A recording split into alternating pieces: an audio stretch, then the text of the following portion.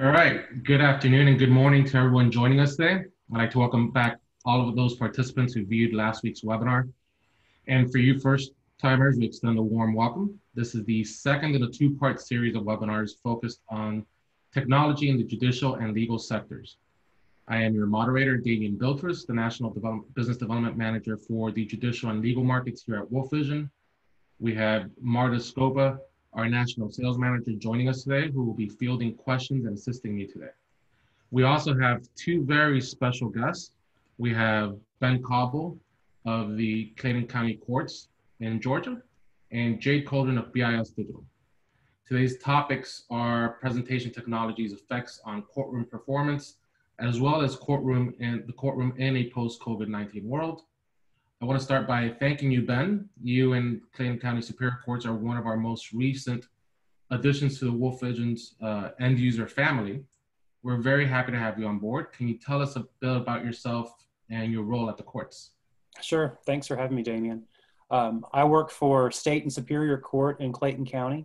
Uh, in particular, I, I, work for the judges of Superior and State Court inside of court administration. And my role is to make sure that the judges and their staff have everything that they need on a day-to-day basis uh, as relates to technology, um, whether that's laptops and computers eh, for their back of office work, but then also uh, anything courtroom related, courtroom IT uh, for attorneys coming in um, uh, all across the board, any technology in those courtrooms uh, that's, that falls under my purview. Fantastic. Now, Jade, BIS Digital has been providing technologies and services to its customer base since 1982, with a strong emphasis on the judicial markets. Can you tell us a bit more about BIS as well as your role there? Thank you. Thank you, Damian. I am um, I'm a regional sales director for BIS. I've been with the company since 1991. Uh, I directly lead a group of uh, account managers in Michigan, Indiana, Ohio, Georgia, Alabama, Mississippi, and Florida. Uh, the company actually is providing technology nationwide. Um, we started out in the southeast and then the Midwest and then the East Coast, and now uh, we're moving out. We're moving out to the West. But uh, we provide technology for courtrooms, city councils, county commissions, school boards, law enforcement. Uh, we started out selling cassette machines, and as technology changes, we adapted with that technology, and as a result, became one of the national leaders in uh, multi-channel audio and video recording solutions for courtrooms and uh, the other markets that I mentioned. We have over 6,000 uh, digital customers out there, and and throughout the throughout our history of selling the digital recording, our customers ask us to provide more technology. And as a result, we became a full systems integrator. And that's how we came to partner with you guys as well. Fantastic. Now, this webinar is meant to be very interactive. We welcome all user questions, so please feel free to ask them during any time during our broadcast. Um, you know, we know a bit more about you guys already. Um, I'd like to learn about the types of guests that we have with us. So let's take a moment and see who's in attendance today. Last week we had folks in a variety of roles such as CTOs, judges, and integrators. So Marta, can you pull up our first poll, please? So our first poll question is, what type of attendees do we have today? And you can answer judge, clerk of the court, uh, chief technology officer, CTO, consultant, integrator, or AV technician. Now it looks like we have um, you know, good uh, mix of all with um, primarily integrators on here. Um, we have about 64% participation. So those of you will, that haven't answered, we'll give you a few more seconds to answer before we end today's poll.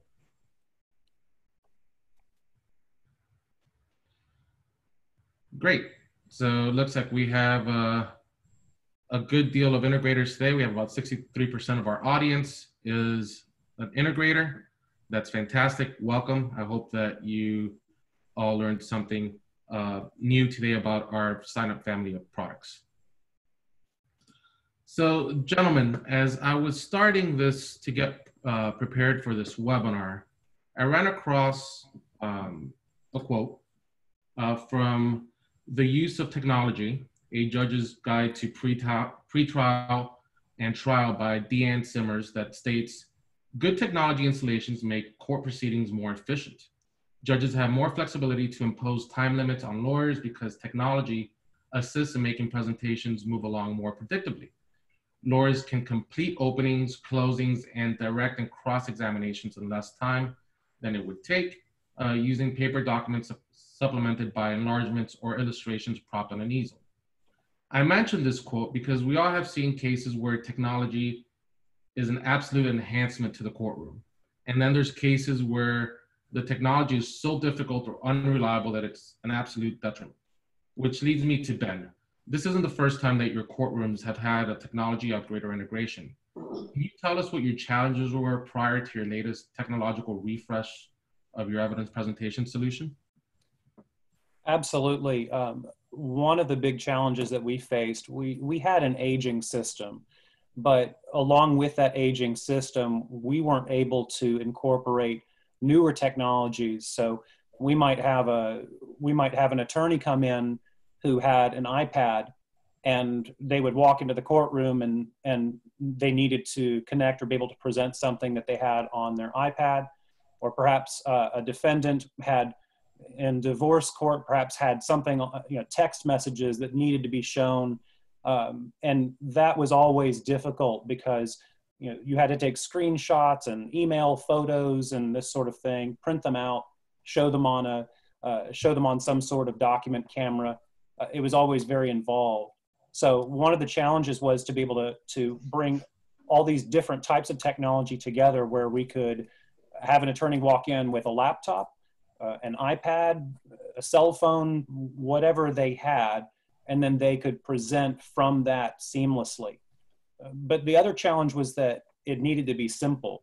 Um, we couldn't, we didn't have time for the, the attorneys don't have time, the judges don't have time, and uh, you know anyone related to to technology doing training doesn't have time to train every attorney on every piece of equipment. Uh, it needed to be simple enough that someone could walk into the room and you know, press the green button to turn things on and, and know how to know how to work the system pretty intuitively. So those were two big challenges was to, to bring all these different pieces of technology together, but to do it in a seamless way that uh, people had access to very quickly. So who would you say led the charge? Was that a user-driven change or was there an internal uh, internal parties that really led that change? We had internal parties uh, who who led the change. You know, from the beginning when I arrived there, um, I knew that that our goal was to was to upgrade our courtroom technology. But the judges actually led a lot of that. They were very supportive of this because they wanted to see their courtrooms operate in a more efficient manner, uh, and they wanted to see attorneys able to able to address matters more quickly in their courtroom, not just for not just for courtroom efficiency, which is always a concern, but uh, even just access to justice. That um, that when someone comes into the courtroom, that they felt that the technology didn't get in the way of their case being heard. They knew that their voice was heard, um, and you know, an old projector not working didn't make it to where uh, some critical piece of evidence uh, wasn't presented correctly or presented well enough. So the judges actually led a lot of that. It was um, it was a group effort, but it was very important to us that the judges really bought in and drove that process as well. Okay, that's great. So Jade, would you say that that's a, one of the most common complaints that you get from your potential clients who are looking at BIS solutions? I would agree with Ben. I think he, he hit it on the, the head where it's connectivity and complexity. Um, if the system is hard to connect to or it's hard to use. Those are those are the those are probably the biggest complaints that are out there when we're coming into a new courthouse. Um, it's just what can i connect with and um, how hard is it to use? Now is that particular to a certain type of uh, courtroom or a jurisdiction or is that across the board? No, I think it's across the board. I mean, all the, the building blocks are the same uh, from jurisdiction to or courtroom style to courtroom style, but you have to kind of you have to adapt them to meet their specific needs. But I think connectivity and um, complexity are, are, are the biggest complaints across the board. Okay. Well, during last week's webinar, I asked Paul Pridemore of the Ninth Judicial Circuit of Florida to walk us through the decision-making process when it comes to technology in the courtroom. Ben, before we get to how Cynap was a fit for your courtrooms, I'd like to ask, um, you know, what was the, the decision that led you to select Cynap over other products? And can you describe to our viewers what your product evaluation strategy looks like? Well, really, the one of the main things that brought us to Wolf Vision's Cynap was the fact that it could integrate all these different pieces of technology. We had already implemented something where using some pretty basic technology, you could you could plug an HDMI cable in and present. But what really drew us was the seamless wireless presentation. So uh, it's it's not enough to just have a, an HDMI cable uh, or an HDMI port at each counsel table, for instance, uh, there are some instances where someone needs to present present from the middle of the room, or perhaps you have an expert witness who uh, needs to present directly from the stand. Um, you know, we needed the flexibility to to present from anywhere, and that's really what drove us towards towards Cynap. Uh, there's a there are a whole lot of other features within that uh, within the Cynap that we really that we really interested us but it was the ability to have anyone from an ipad android you know windows device uh, apple device you know like an, uh, an apple laptop to present from anywhere in the room that's really what what drove us fantastic now jay bis started providing the Cynap solutions to its customers in the judicial market uh, probably at the onset of 2019 what was the catalyst for change? And was there a market need that wasn't being met at the time? Yes. Um, we needed a piece of equipment that was user friendly, flexible, and beyond that, stable. Um, something that was going to work every time that we turn, turn the piece of equipment on.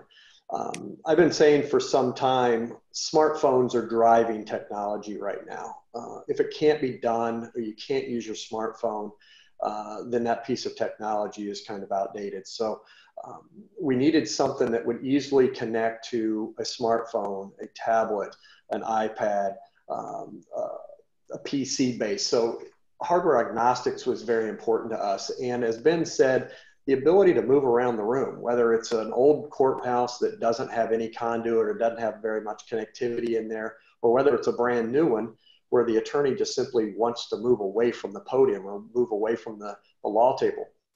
With a tablet or a smartphone, uh, they can walk anywhere in a courtroom and present uh, wirelessly. And so I think that was that was very important. I think it's the flexibility and stability are, are, are the, the most important things for us.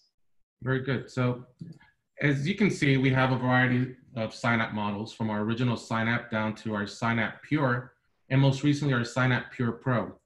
Uh, we understand that not all courtrooms are built equally and needs are different, uh, which is why we offer a variety uh, to begin with.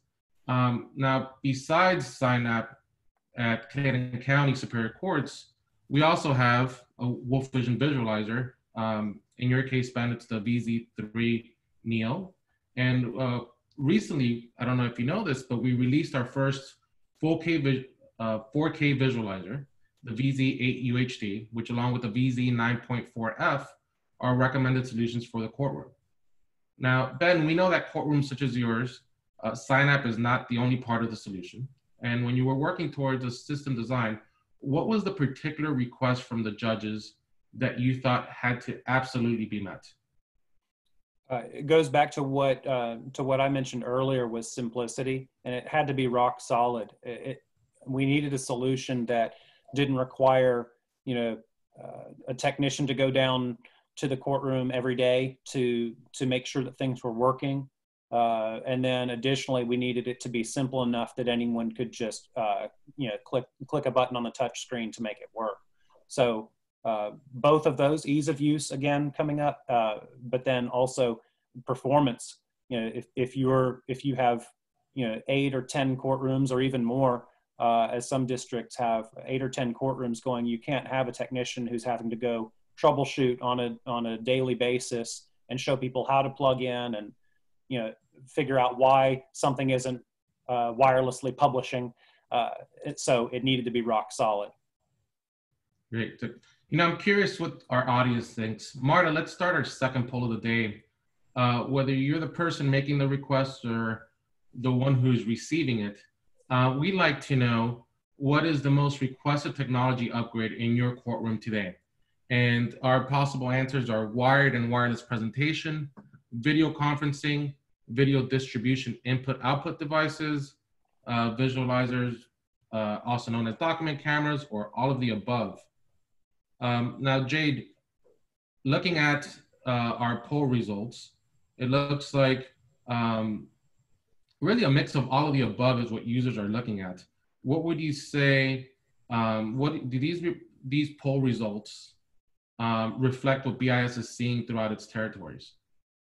Yeah, and I, I, think it depends upon the type of court. Jury courts have a different need than non-jury courts, uh, but I think the wireless, I think wireless has really come into its own in the last, in the last probably 12 months.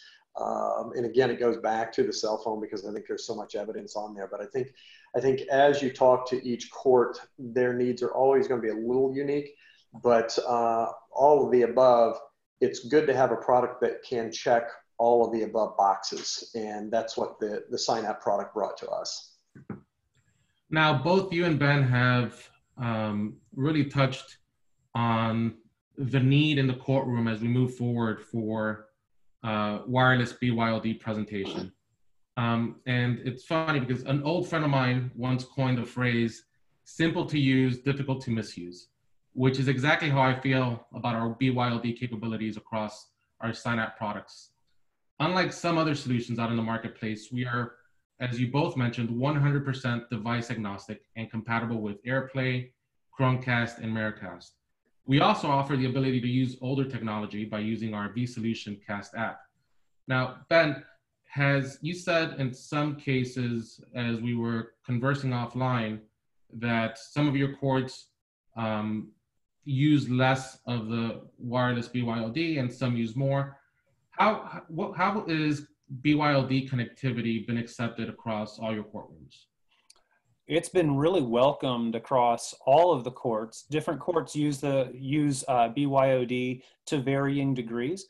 Um, in state court, for instance, we have a lot of um, a lot of times certain calendars are are very basic and very straightforward.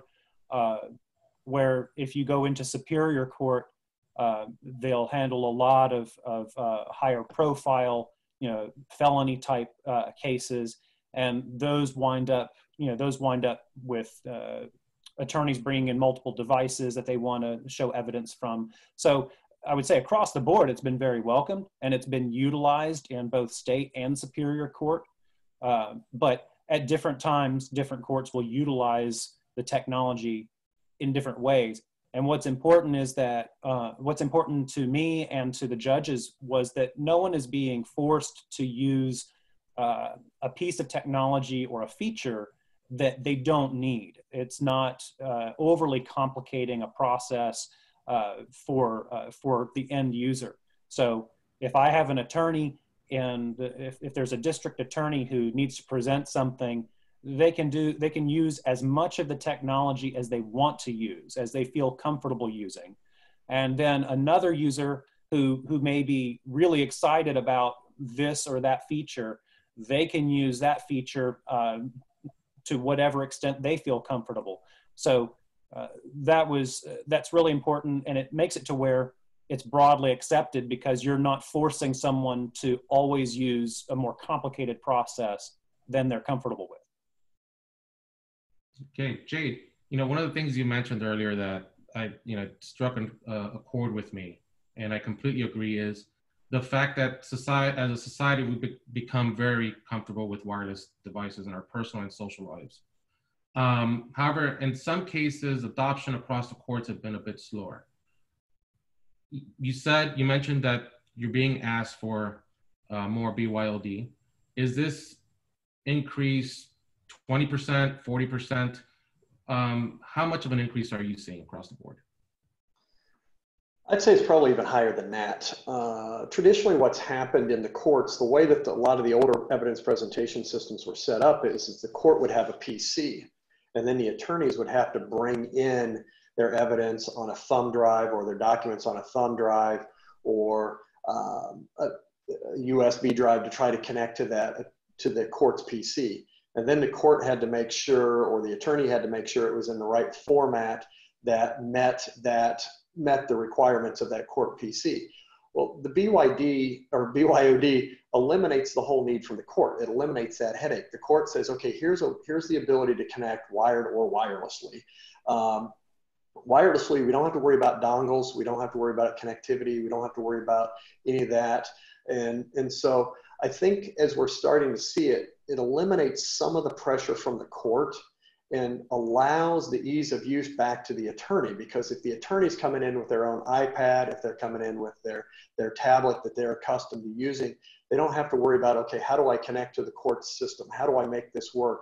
They it's a much smoother seamless integration for them uh, or user experience. And then back to it's much more efficient proceeding in the courtroom because people are using their own technology so so i think i think the byod is it's probably 75% or higher as, as a request in all the new, in, in the new installations.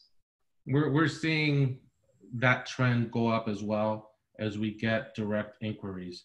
Now, last week, um, we had, you know, as I mentioned before, we had Paul on, and he walked us through some of the security settings that help them avoid unsolicited traffic on their network. Now, our team has done an incredible job of emphasizing the importance of enterprise level security. Out of the box, all our products offer security features such as HTTPS encrypted connections, an integrated firewall, and the ability to really lock down the devices. We also offer our vSolution Link Pro software, which Ben, you have seen, um, which allows us to, at an enterprise level, manage all of the Cynap devices that are on your network. Now, I know that due to COVID-19, you had to cut your integration halfway through. Um, but when you think of security in terms of courtroom technology, how do you foresee using Cynap's security features in your courtrooms? Well, one of the great things that I, that I really like about the Synapse device that we have installed, and we have three of those courtrooms that are fully functional, uh, is that is that it really does work out of the box. I'm not worried about, uh, I'm not super worried about the technology being uh, accessed inappropriately. We're using some out of the box features uh, such as a, a, pin. So you can publish that pin or it can be a pin that, um, that you know, a judge could let someone know at the beginning of the day, you know, hey, here's the pin for you to connect. Uh, so we're using some of those basic out of the box features. And as we go forward, we may tweak and make some changes to that.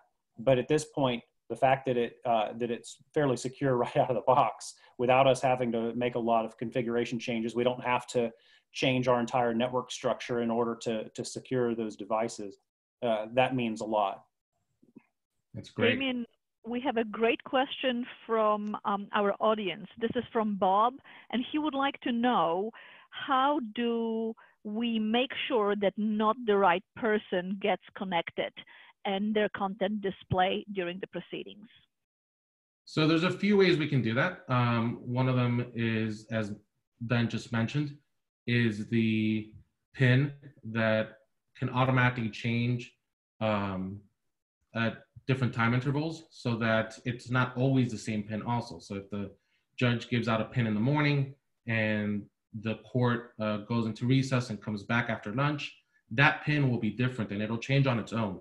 Um, we can also have a moderator mode where the judge first views um, the evidence that's about to be presented, and then they can release that to other screens within the courtroom.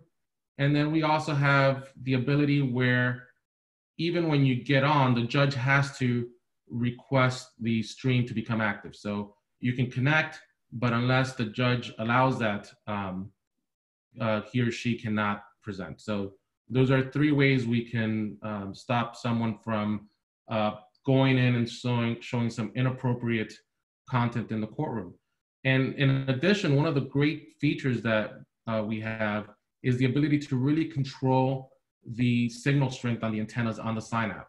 So we can control that decibel level. So, and, and last week, if those of you who were on um, would have, you know, you, you probably remember that with Paul's group, they're doing the same thing. And anyone who sits behind that rail in the courtroom cannot even see the connection.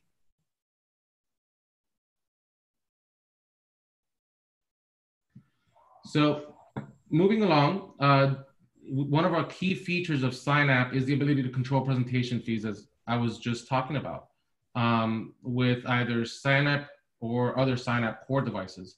And we do this with our vSolution Matrix, which uh, it's a feature that provides the ability to distribute content over the network.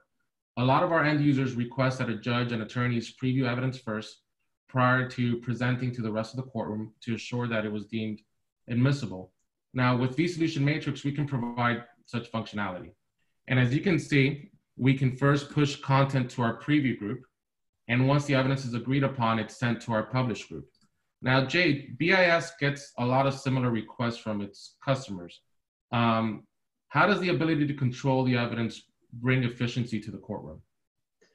Well, I think even when it's not, when the preview is not brought up to us, we bring it up to them because we, we see it as an important feature that um, as this court is taking place or as a trial or hearing is taking place, that as evidence is being presented, that the judge and uh, both attorneys get to be able to view this before the jury or the public in the, in the courtroom get to view it. And so I think what this does is it it controls it gives the gives the control back to the judge. So the judge has the ability instantly to stop that or or he can say, okay, yes, this works. The other opposing attorney counsel can say, yes, uh, we agree to that. Um, and so just by streamlining the whole process, but giving the control back to that judge, I think makes everything much more efficient. Great. Now, Ben, from the courtroom perspective, what are the effects of inadmissible evidence that's been shown in the courtroom, just so our viewers can really understand um, the importance of these features? Right. Uh, evidence being shown inappropriately uh, can completely throw off an entire trial, depending on the type of trial and depending on the type of evidence or uh, whatever it is that's being presented inappropriately. I mean, you, you could have a mistrial. You could you could uh, undo weeks of weeks of work, weeks of whether it's deliberation, weeks of work uh, on the part of uh, of a jury. So you have taxpayers who are who are sitting there and they've taken time out of their lives to you know as as uh, doing their civic duty there, um, participating as jurors.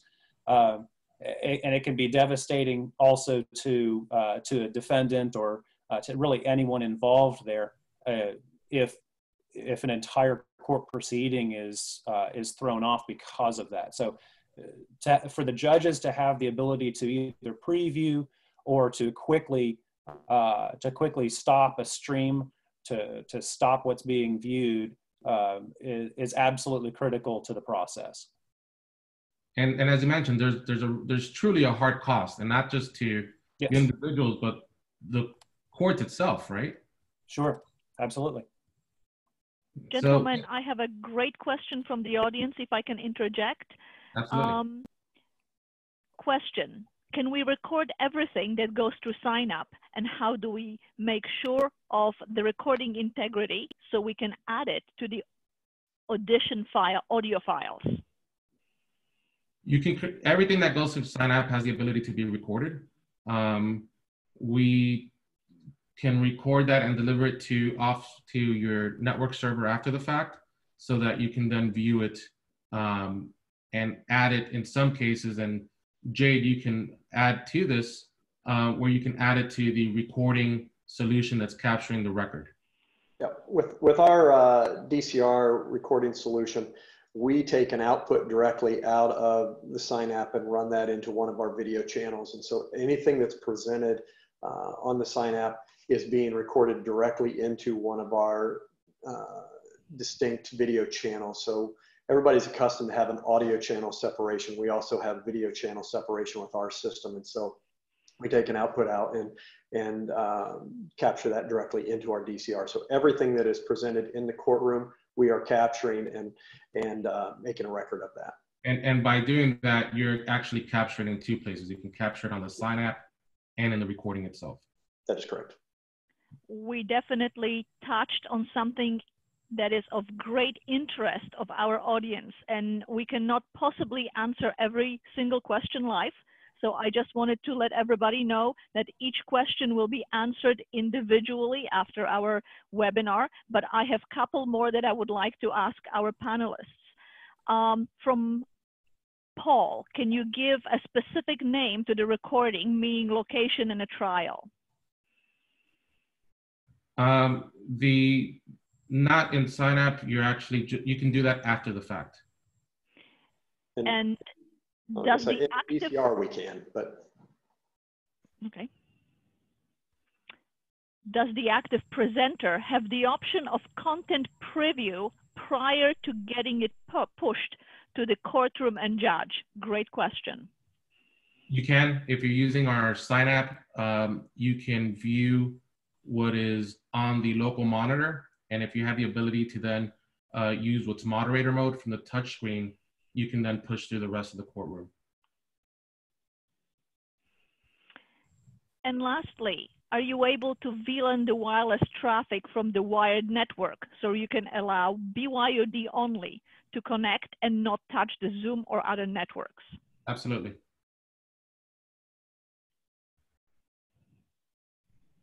Thank you. Great. So in addition to vSolution Matrix, uh, we offer a variety of tools that can be found on Cynaps such as Zoom, Microsoft Teams, as well as an integration with WebRTC compatibility.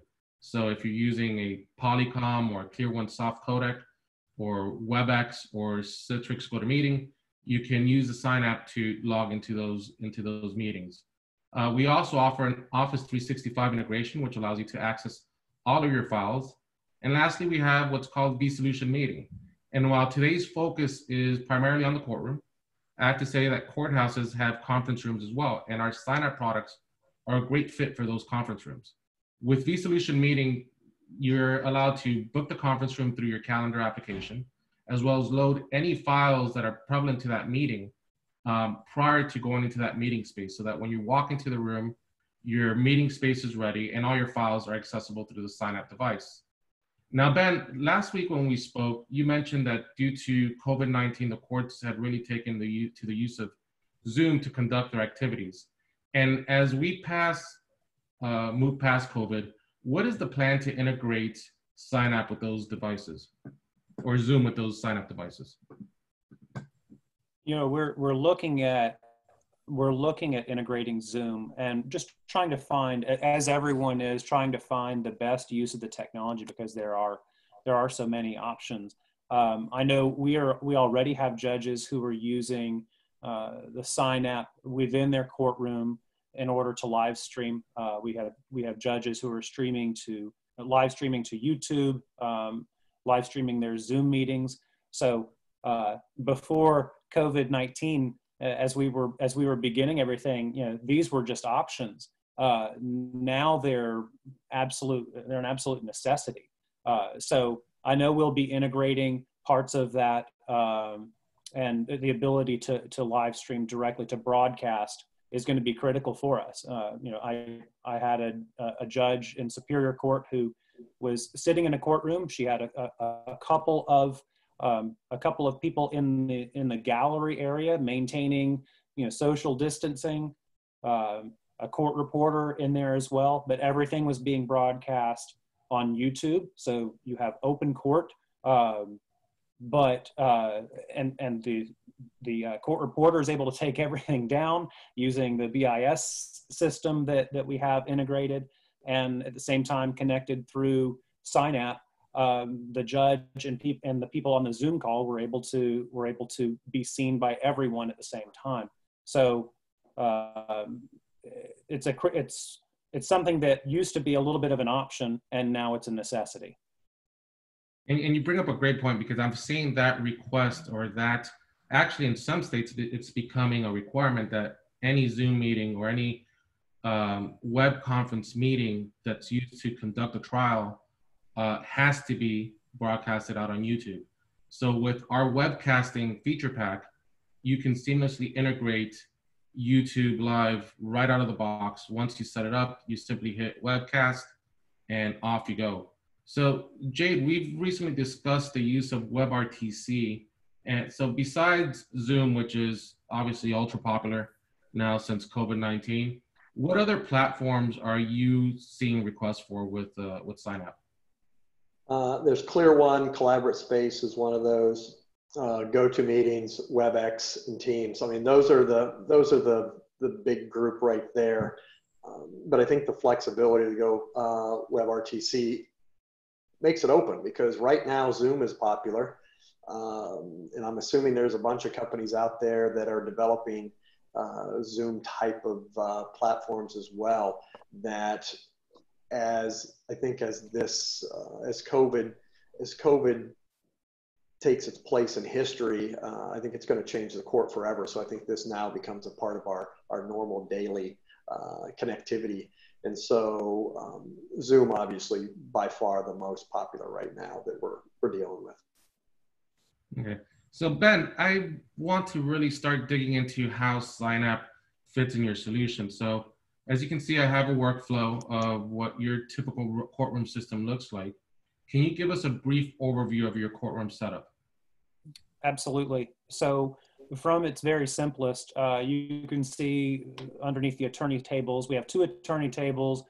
Each of those tables has a, um, a high definition display on it, just a, a 23 or 24 inch uh, display. It's not a touch screen. It just shows whatever is being published. So um, at the same time, the on the wall that's it's visible from the gallery as well as from the jury box. Uh, we have a large 80-inch display. Um, so, uh, and then the judge at at his or her bench also has ha, they have a display as well, and the witness has a touch display. So you can have an attorney who comes in. Uh, they can plug in via HDMI uh, or VGA um, so they can have a wired connection if they if they need from their display from their attorney table. Um, we also have our own um, presentation PC, and that presentation PC also has a touch screen. So there are two touch screens in that room, one for the witness and then one at our presentation table. So um, if an attorney does not have a laptop or they don't have a uh, they don't have anything that they want to connect, they can make use of the court's existing uh, uh, PC there, plug in a thumb drive, uh, pop a disk into the into the DVD drive, um, and at that table there's also a um, there's also a visualizer there, a document display camera. So all of that goes through uh, all of that goes through our our rack that sits behind the judge's bench, and the judge is able to to um, to stop the signal that's going through from wherever. Um, now, and I've only spoken there of really the wired connections, but with the Cynap in the picture, that means that you could have an attorney who's sitting at that table who doesn't plug into HDMI at all. They just wireless wirelessly cast from their uh, from their device, whether it's you know Android, uh, OS X, it, it doesn't matter. They can see that connection to the Cynap and everything goes through there and it's just as if they've plugged in. So uh, the judge again can can stop the connection uh, can mute video for everyone uh, from from there. So and everything travels over that. So if someone has a, a youtube video that they're showing you know the audio plays over the ga- you know throughout the entire gallery it plays on the overhead speakers and when the judge presses mute the audio goes away the video goes away and they can switch to another source if they want. So that's a really basic overview. Now, in your solution, it looks like all the inputs ultimately pass in through Cynap and output out of Cynap, correct? Yes. And is this a typical setup for all six Superior courtrooms? Yeah, it, it is. Of of the three, uh, you mentioned that we were interrupted by you know this this pandemic that everyone is feeling the effects of. So uh, we're partway through our, our installation, but that, that is typical of, of the way that we're doing that. Fantastic.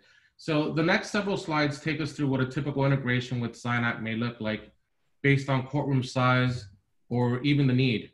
So what we have on screen is our large courtroom concept, which takes full advantage of the vSolution Matrix uh, feature pack. And in this solution, we have a preview group and a publish group. Um, and out of the published group, you have your uh, wall display, you have your witness display, and you have your jury displays. And this really keeps the evidence um, very, very tight so that the ability to have inadmissible evidence becomes very, very low.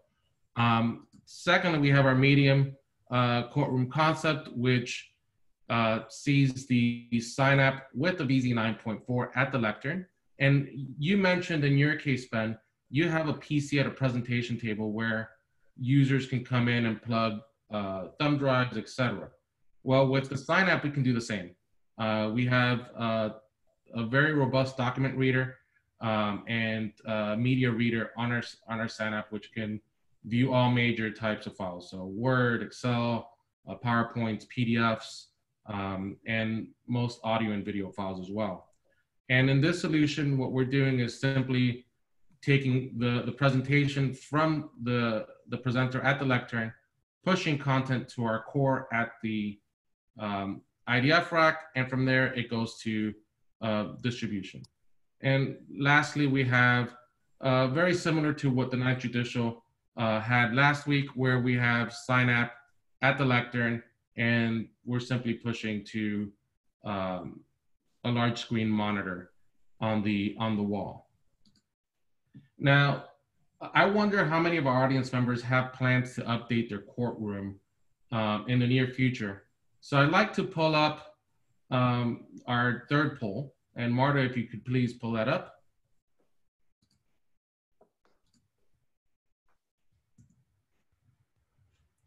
So whether you're on an integrator side or you're an end user, um, we'd like to know when you're planning or when you're working on your next project for a courtroom. So is it the next zero to six months, next six to 12 months, 12 to 24, or at this time, uh, you know, maybe you don't have plans because of the effects of COVID-19. And as our results come in with about half our participants in, looks like a lot of users are still planning to upgrade their courtrooms from zero to six months. Now, Jade, as we look at these poll results, can you walk us through the process of designing an evidence presentation system for the courtroom? Sure. Um, the most important thing is communicating with that customer, finding out. Um, well, pre-COVID, we were we were doing lots of walkthroughs. We would go in and we would meet with the customer, find out what their needs are today, and where do they think their needs are going to be in a couple years. Because we want to design a system that allows to be grown upon. Um, and with these systems, Cynap has made it a lot easier to design, quite honestly, because before we had to figure out where do we want to have an HDMI input or where did we want a VGA input or where do we have, um, where are they going to be presenting from. But the wireless connectivity allows that to be a much easier and uh, simpler way to for the court to address that as well, because now anywhere in the room you can present from. So basically what our, our goal is, is to find out is, is where do they want to present from? What do they want to prevent, present from as well? Not from where, but from what. So what kind of devices? And then where do they want the where do they want the output to go to? Because these systems are truly about inputs and outputs. What's coming in and where where is it coming from and where is it going to? And so we may have some that have uh, individual monitors at each jury station in the jury box. We may have one that's got a as, as we showed there a second ago, where it's just got an 80 inch, or like Ben has an 80 inch monitor on the wall, uh, or we may have touchscreens. So it's really about communicating with that customer and finding out exactly what they want to get out of this, and also finding out how much they want to spend because obviously the more monitors the more touchscreens uh, the more outputs the more money that costs so uh, this does give us that flexibility and I would imagine now in a post, you know, going post COVID where revenues across the board are obviously down, you know, budget is is something that's, you know, more prevalent than ever. Now, how do you see Cynap being able to meet those needs because of the uh, the amount of features that we we offer? Well, I think because it is such a feature-rich system, I, as when I first when I first saw it, I said, this is an evidence presentation system in a box. um, it really took about five or six different components and built them into one, one very user-friendly platform. And so in today's environment, if the budgets are tight, it doesn't stop it doesn't stop our customers from starting on a evidence presentation system. As you saw the way that the ninth uses it, um, they're one of the most technically advanced courts in the United States, and they're using it at a podium with a projector and a touchscreen.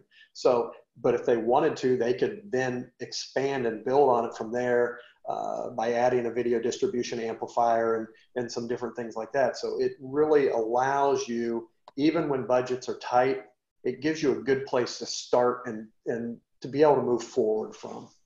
So the word that comes to mind is really scalability and the ability to scale to uh, a more robust system when when those budgets are available. Now we showed what we believe are typical concept drawings of courtrooms. Do you believe there's such a thing as a typical courtroom? Um, starting to be. Before it was the answer would have been no because because you had to you had to hardwire everything in. And so you had to worry about where were the connectivities. And so did we want to connect it to podium? Do we want to connect it to attorney tables? Do we have a presentation location? Do we want to connect it to witness? Um, now because of the wireless functionality some of those some of those become irrelevant anymore because we can connect from anywhere in the room. So um, I don't think there I don't think there is a standard, but the building blocks are all the same. And so it goes back to that scalability issue. Is Here's where we can start, and then we can add outputs because that's really what you're looking for. What are my outputs? And um, and that's really this has allowed a design to become much more standard than we were doing, let's say, two years ago. Now, Ben, we've we've discussed that you're responsible for the superior courts, but we haven't mentioned that you're also responsible for the state courts, which are very similar solutions. However, even though the hardware may be similar uh, in workflow, um, or the hardware may be similar, the workflow doesn't necessarily mean that it's always the same. Can you tell us how workflows may differ in courtrooms? Absolutely, um, and we touched on it a little bit earlier, but you know, different uh, divisions of court, they'll have, uh, or different levels of court will have different types of hearings, obviously. Um, you know, in state court, you may have certain types of calendars that uh, they don't require, uh, they don't require you to walk around the room presenting. Um, they, they may not need that. Now, it, it might come up that every, you know, every three or four weeks, you may be doing a jury trial where someone wants to be able to present from anywhere in the room. But uh, that's you know one month or rather one week out of four. Uh, the other three weeks it's pretty basic standard uh, someone plugging their laptop in. They're always in that courtroom. Maybe that attorney is assigned to that courtroom. And they just they just plug right in almost like it's their docking station. Um, so different workflows for different situations. In state court um, you you see that a lot more. In superior court you might have you know a different attorney every every day of the week. So uh, it really depends on the court but that's what that's what we needed with uh, what we were looking for uh, when we partnered with BIS and and then WolfVision for this solution was that flexibility to adapt to both of those. And like I mentioned before that the system could be as simple as you need it to be to to get that job done to work through that workflow or it can be uh, it can not as complicated as you want it to be, but you could take advantage of as many features as you wanted to uh, for uh, for other types of workflows. Great. So we all know that COVID nineteen has really changed the way we conduct business, you know, in our daily activities, um, and this is no different in the courts as well. And before we wrap up for the afternoon, um, I'd like to engage our audience one more time with the with our last poll. And Marta, can you please uh, bring this poll up? And the question is, in the courtroom post COVID-19, um, what will the activity look like? Will it be business as usual? Uh, will most cases be conducted in a virtual environment? Um, a hybrid between A and B? Or, you know, do we not have an idea uh, in some cases? And, and as we look at our poll results, it looks like it's, it's, it's a hybrid uh, with 80% of our or over 80% right now of our of our users giving us that result. Um, ben, can you tell us what changes are coming to your courtrooms because of the virus? You know, we're still, as most people are, at that uh, at that phase or in that phase where we're trying to figure out what exactly is going to happen, and we're looking to, you know, we're looking to our judges and to and to um, you know courts that are higher up as well as everyone discusses the best way to handle the best way to handle this going forward. But uh, I can say that there were there are going to be changes. I think that when we go back to normal, it's going to be a new normal. Um, you know, in conversations with with different judges, you know, the idea is well, we need to have these options available. We need to be able to handle court remotely, and and not bring people in unless unless it's absolutely necessary, or have part of our workforce that can work remotely. They need to be able to work remotely as long as we're able to accomplish our workflow you know, efficiently and effectively. Um, so there will be changes. It's going to be some sort of hybrid, but at the same time, it's also we still don't quite know. Uh, but there will be changes, and the flexibility that is offered through um, through something like Cynap uh, is going to be a critical part of that of that solution to be able to live stream, broadcast, uh, connect multiple people remotely at one time that's going to be a, a big part of it. So it sounds like while there may be some dramatic changes to the system workflow uh, because of Cynap's abilities, would you agree that you're kind of been set up for this uh, to uh, move fluidly? Yes. Yep.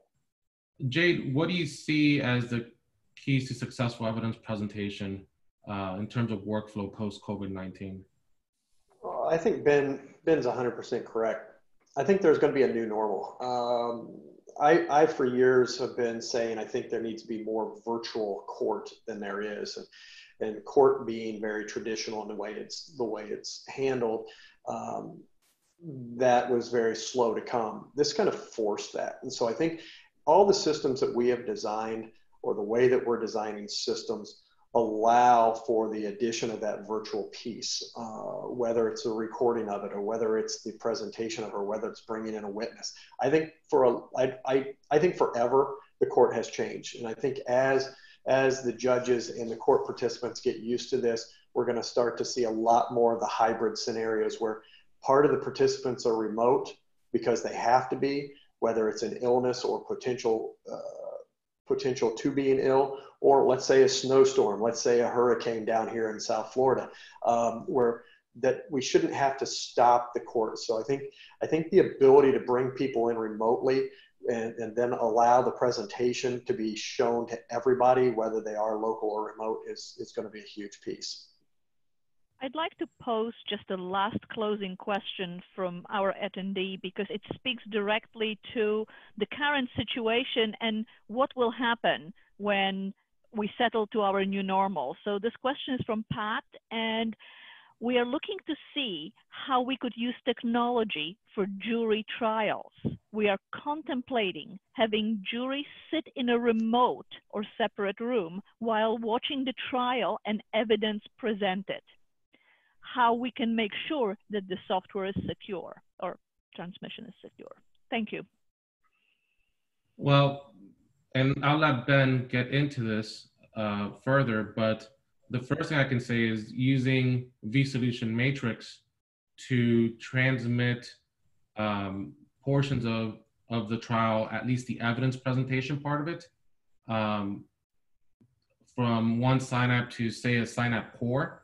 Uh, will give you the ability for your jurors to see the evidence in a very secure, um, clear, and efficient manner.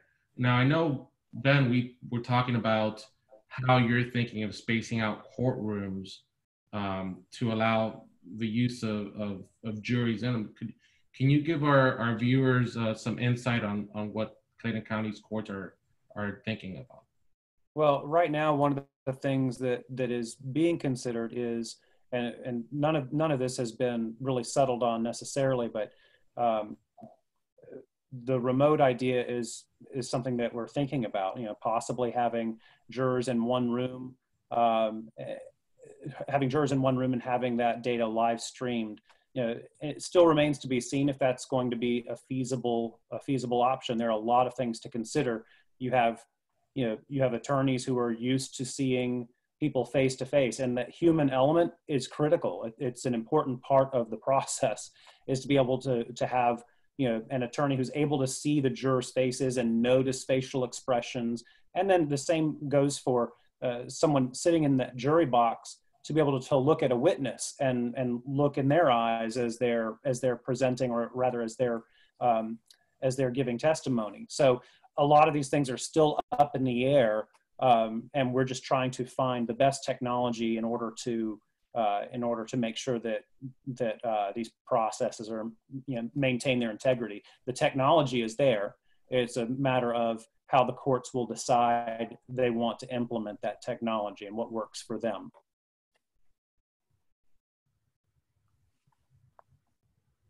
Marta? Thank you. There is no more questions. Okay, I have. great. Well, Ben and Jade, I want to thank you again for joining us today and providing your insight. I know that a lot of our participants are looking for ways to improve efficiency in the courtroom uh, workflow, especially in these uncertain times. Uh, for more information, please feel uh, free to reach out to me at damian.biltres at wolfvision.com. Um, if you would like to keep up with WolfVision, we can also be found on all major social media platforms by searching at WolfVision or visit, visit us on the web at www.wolfvision.com. Uh, thank you, everyone, and please stay safe. Thank you, David. Thank you.